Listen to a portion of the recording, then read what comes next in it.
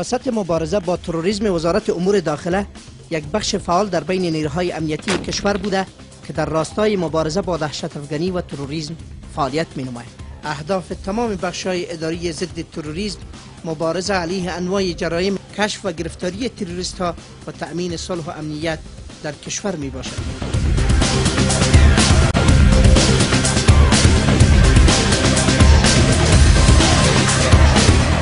یک ریاست توریسم است یک قطعات خاص عملیاتی که ما فعلا مسئولیت هر دوش داریم و این هر دوش به ضد تروریسم مبارزه می‌کنیم که از جمله ما می‌تونیم از قطعات سیاروی خود که و قطعه 333 و 434 کماندو براتان نام ببرم که قطعات ما بسیار خوب تربیه شدن در عرصه مبارزه با تروریسم با وسایل و وسایل خوبتر و بهتری مجهز شدن. اونا هم از طریق هوا و هم از طریق زمین و هم در اراضی دشوار. هم از طرف شب هم از طرف روز. می‌تونن که با این گروپ های تاریستی مبارزه بکنن.